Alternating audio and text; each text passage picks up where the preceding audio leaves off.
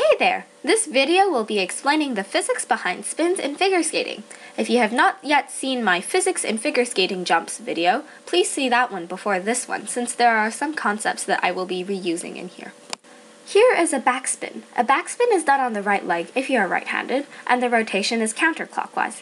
Spins generally finish in a landing position just like in jumps. Let's begin with how a spin starts. As you can see, I've already generated angular momentum even before I started spinning by skating on a curve and by pushing with my other leg. So now that that's covered, you may be wondering how I went from skating on a curve to spinning so quickly. This is also down to angular momentum. You may remember L equals I omega from the jumps video. This does also apply to spins, but not this part of the spin. For this part of the spin, you need to know this other angular momentum equation. L equals R times m times v, where L is the angular momentum, R is the distance from the mass to the rotating axis, m is the mass, and v is the velocity. Part of how I start spinning is in my foot. My left foot turns so that I'm no longer moving forward and the circle I'm skating in is much, much smaller. The other part is where this new equation comes into play. At the beginning, I skate in a large circle so that r is large. Then, when I skate in a smaller circle, r is smaller.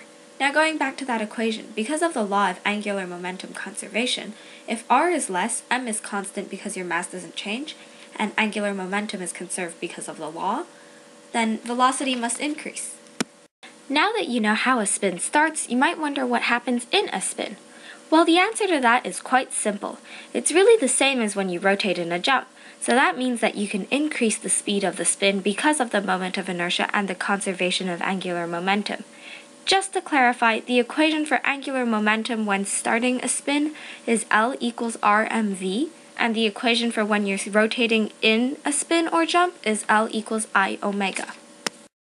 Next up, change of position and change of foot in a spin. Here you have a combination spin with three positions, two on one leg and one on the other.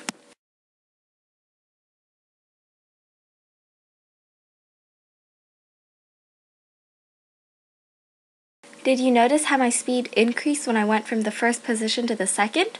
Well, that's down to the moment of inertia. In the first position, the distance from the mass to the rotating axis is much greater than in the second position.